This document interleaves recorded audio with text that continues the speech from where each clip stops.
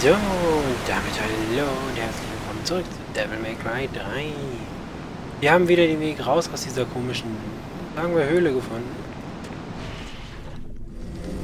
Und guck mal nach, was hier auf uns zukommt.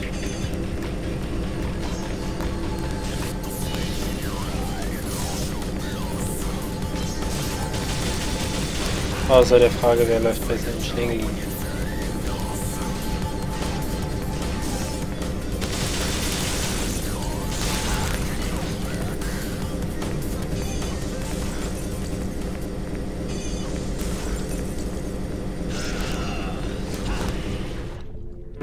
Nicht so richtig viel, aber okay, da kann ich mit leben. Hier gibt es sicher wieder Spinnen, wie auch bei Dante. Wäre so cool, wenn es hier jetzt mal eine Änderung gäbe.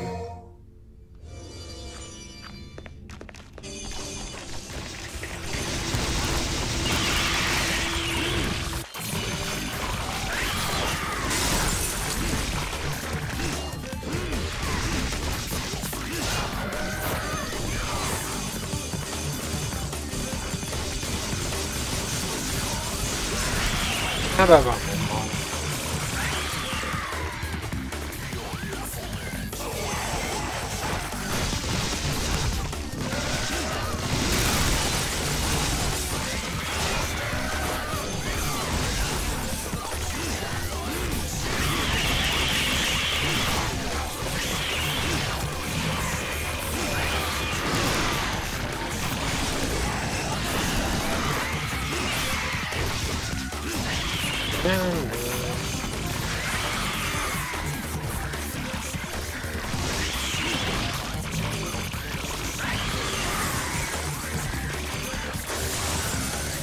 Ich habe keine Ahnung, wie ich das mit den Schwertern gerade gemacht habe.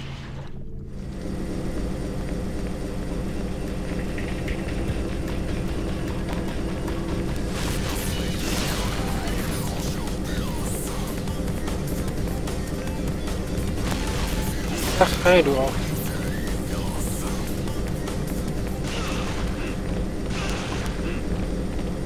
Was ist jetzt?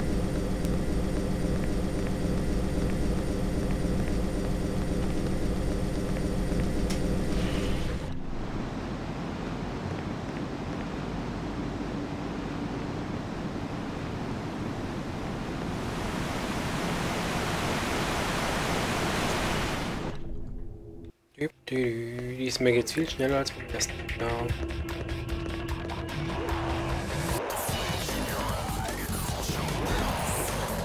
Ja, ja, ich habe bereits mit euch gespielt und auf dem Weg zum Paradies sind viele leichte. Wir müssen hier durch.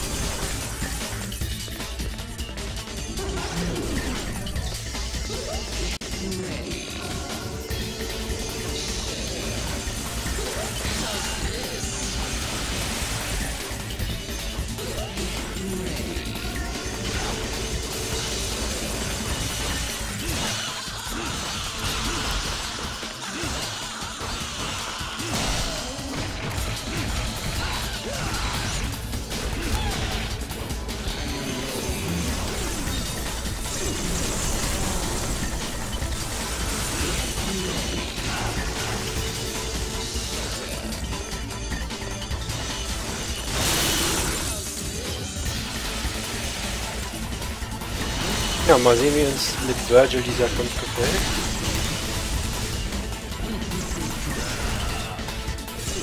Bis jetzt muss ich sagen, ganz okay.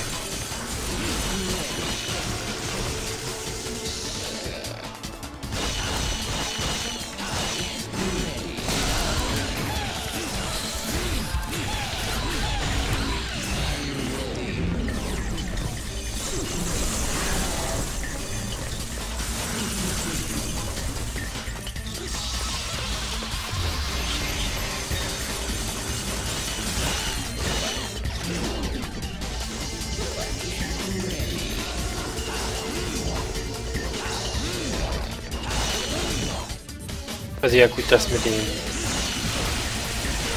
Blitzen ist eine störende Nebenerscheinung.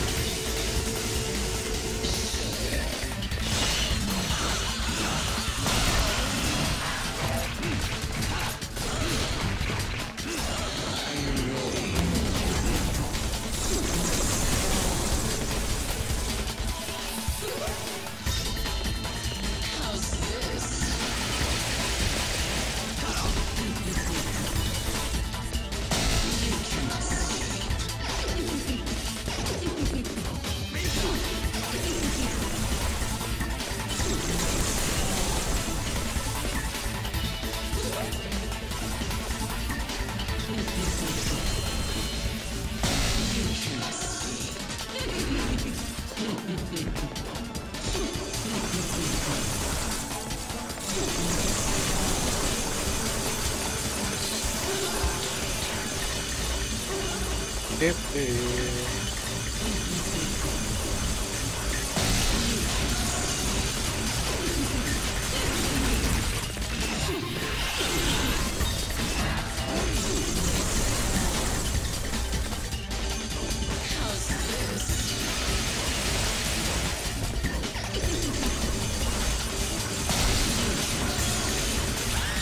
no, yeah.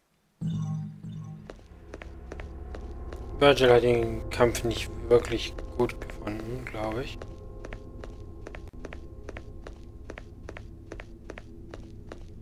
Also mit Dante hat er mehr Spaß.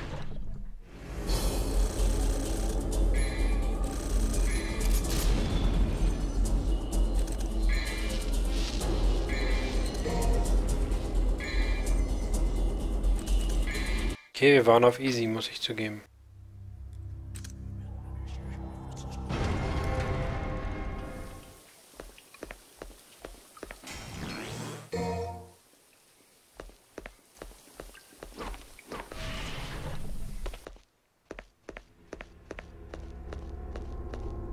Aber trotzdem, wir haben halt wenig bis keine Auswahl in den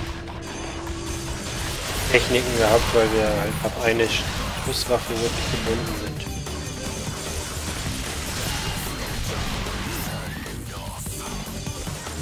Und die geringe Zeit, die wir in der Luft verbringen können, gefällt mir auch nicht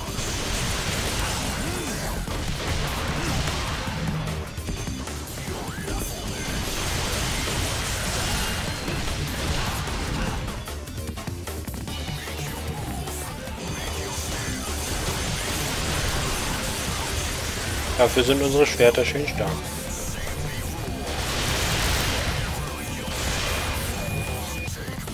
Zumindest in diesem Modus.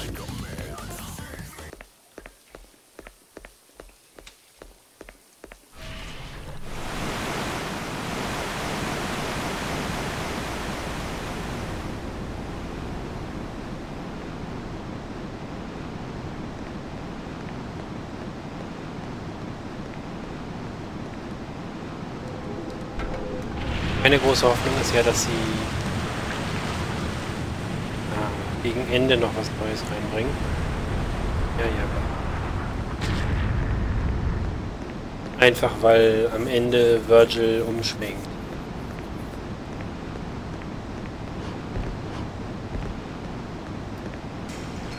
Also da ist er nicht mehr auf der Seite von Ladies Vater,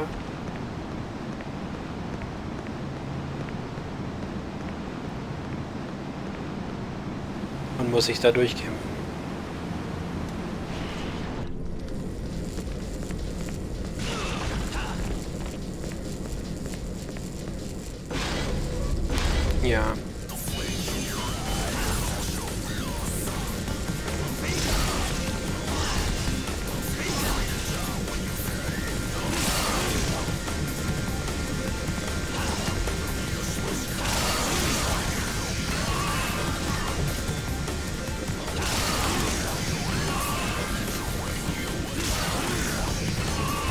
Sehr schön. Ja, dann lass mal weitergehen.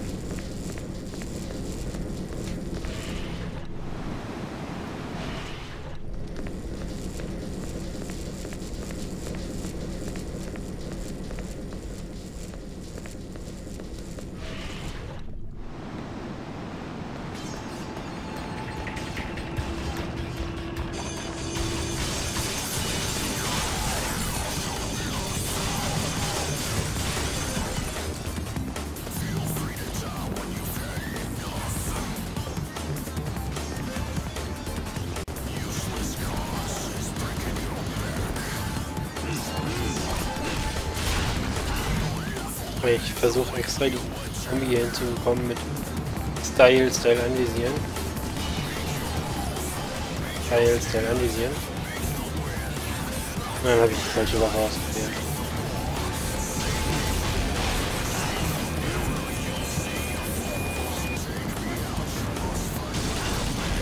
war falsch rum.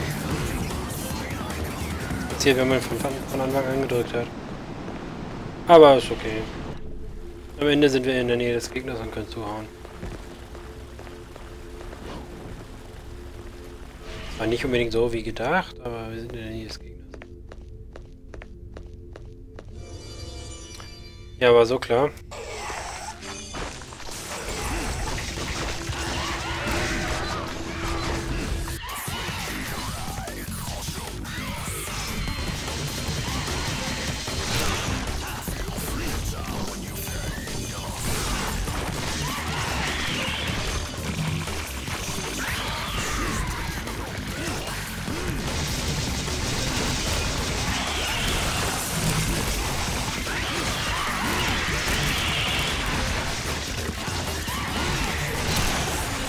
Ja.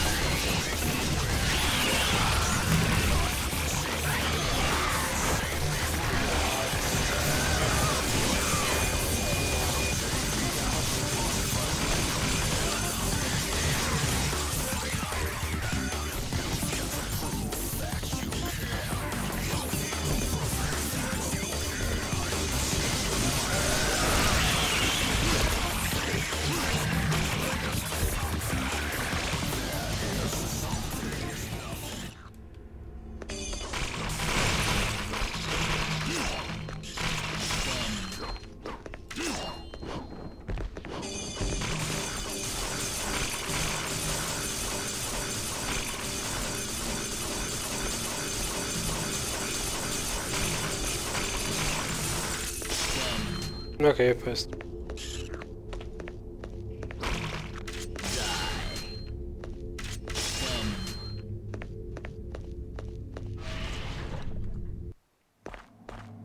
Rotating ridge.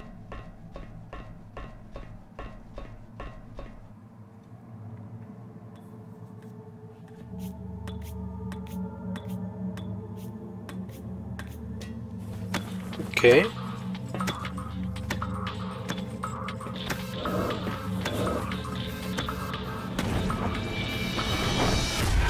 Das ist ja schon mal eine Veränderung. Jetzt gibt es das gleiche Video nur mit Virgil.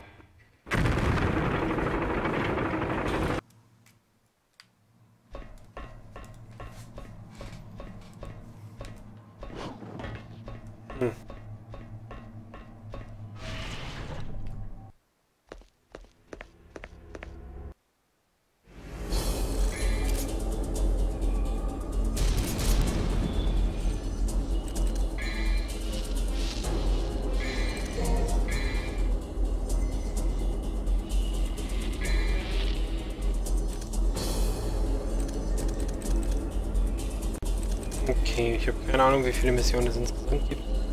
Aber wir sind schon bei 15 Minuten. Und ich meine, die nächste wäre eine ziemlich lange. Deswegen kann ich euch ja dann nochmal zeigen, hier Bloody Palace. Ist wirklich exakt dasselbe.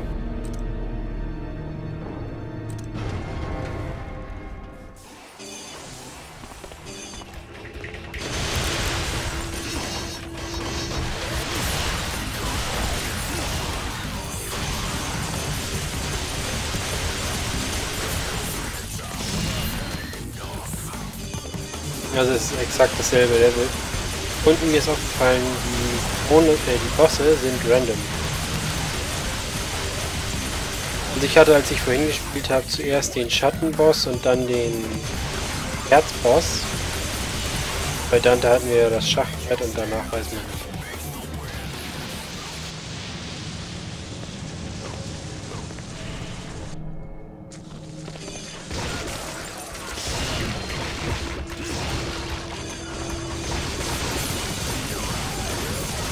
Ja. Aber die Level scheinen äh, 1 bis ne, alles außer, außer den Bossen scheint schon eine feste Anordnung zu haben.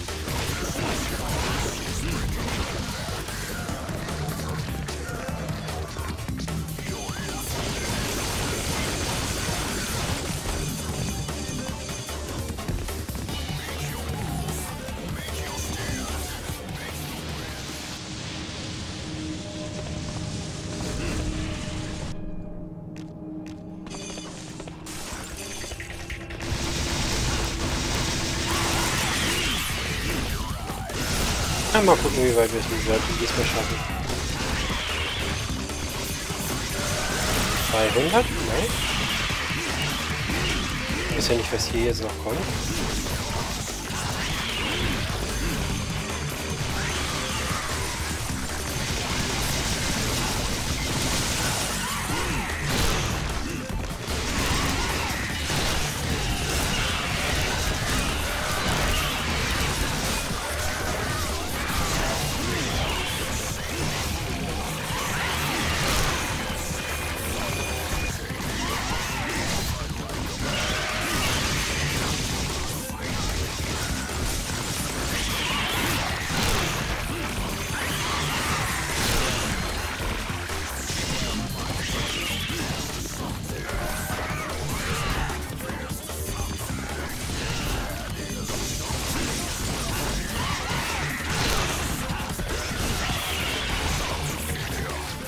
Ja gut, sagen wir mal, der ist hin.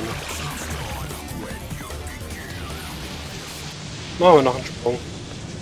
Auch wenn ich zugeben muss, dass hier keine ähm, grünen Kugeln mehr rumliegen.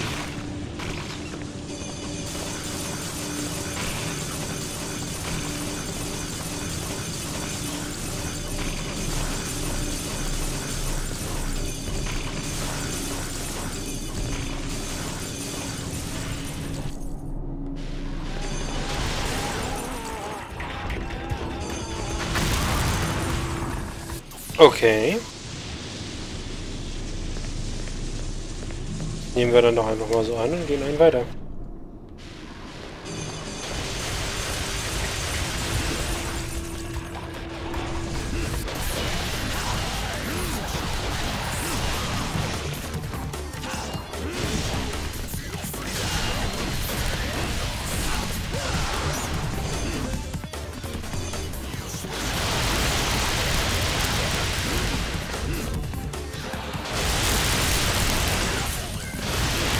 Die ganz üble Befürchtung, dass es einfach ein Level 100 Repeat gibt und die Gegner einfach nur stärker werden.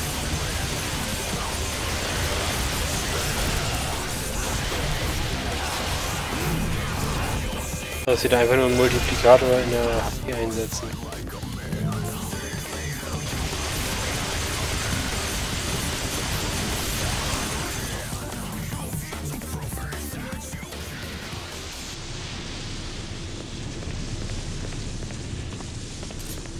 Na, dann gucken wir mal, was 401.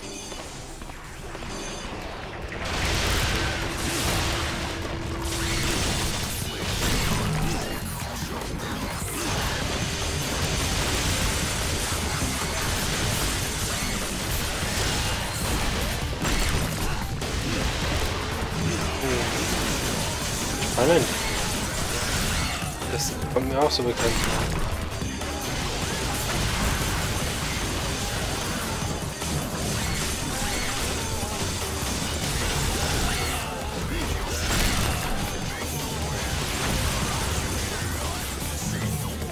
Da lebt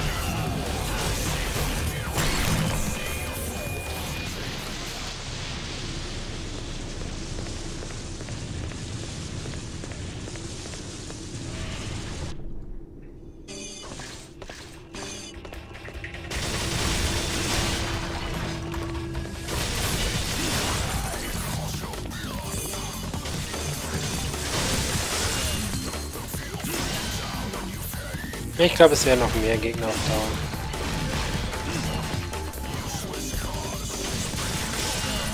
Ja gut, aber mit diesem, sagen wir, interessanten Ergebnis würde ich dann mal sagen, machen wir hier endlich. Ich sage soweit danke fürs Zuschauen.